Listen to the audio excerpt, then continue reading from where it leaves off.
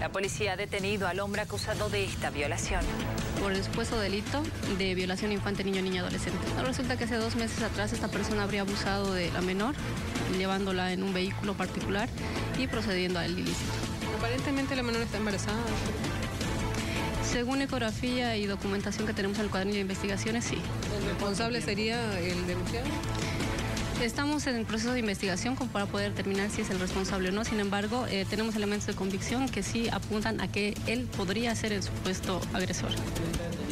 Él se encuentra en calidad de arrestado en horas de la tarde. eh, pondremos a disposición, o en realidad la fiscal lo pondrá a disposición de un juez cautelar para determinar su situación jurídica. No tienen ningún parentesco, eh, ellos no son familia ni, ni son amigos.